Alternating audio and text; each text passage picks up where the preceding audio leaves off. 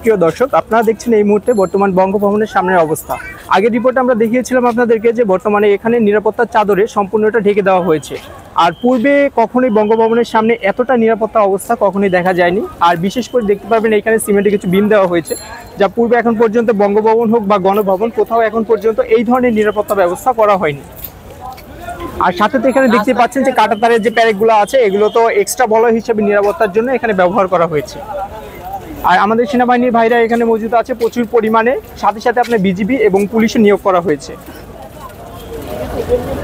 আপনাদেরকে যদি আমি একটু দেখাই, এখানে দেখতে পারবেন অনেকগুলো লেয়ারের কিন্তু ব্যবস্থা রয়েছে আপনার। নিরাপত্তা ব্যবস্থার কোনো ঘাটতি নেই। এখানে প্রথমে আপনি দেখতে পাবেন আপনার রিংয়ের দেওয়া হয়েছে কাঁটাতারের বেড়া, তারপরে আপনার সিমেন্টের বেড়া আছে, তারপরে আবার কাঁটাতারের বেড়া আছে, তারপরে আপনার বিম আছে, তারপর আবার সেকেন্ড আরও একটা লেয়ার বিম আছে। তারপর আমাদের সেনাবাহিনীর ভাইয়ের সদস্যরা আছে। তো এতগুলো লেয়ার ভেদ করে আসলে ভিতরে যে প্রবেশ করাটা যে একদম দুর্ভেদ্য হবে, এটা কিন্তু আসলে বুঝাই যাচ্ছে আর এর পাশ দিয়ে আসলে যাওয়াটাও কতটা রিস্কি আপনারা বুঝতেই পারছেন, কারণ কাঁটাতারের যদি আমি একটু আপনাদেরকে ক্লোজ আপ নিয়ে দেখাই, তাহলে বুঝতে পারবেন যে এটা কতটা শার্প সম্পূর্ণটাই পুরোটা এখনই। আর এইখানে বর্তমানে বিরাজ করছে খুবই থমথমে অবস্থা, চারদিকে দেখতে পাচ্ছেন। কিছু গুটি কয়েক মানুষেরও আনাগোনা দেখা যাচ্ছে।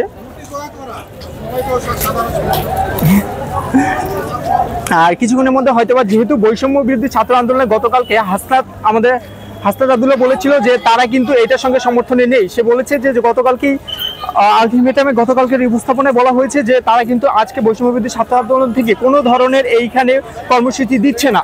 তো বৈষম্য বিরোধী আন্দোলনের কর্মসূচি যেহেতু এখানে কোনো ধরনের হচ্ছে না, এই কারণে কিন্তু এখানে জনসমাগম অনেক কম। আর ছাত্রদের উপস্থিতি আপনারা দেখতে পাচ্ছেন অনেক কম। পরবর্তী রিপোর্টের জন্য আমাদের সঙ্গেই থাকুন। নেক্সট আপডেটে আমরা জানিয়ে দেবো পরবর্তী অবস্থা কি হচ্ছে। ধন্যবাদ।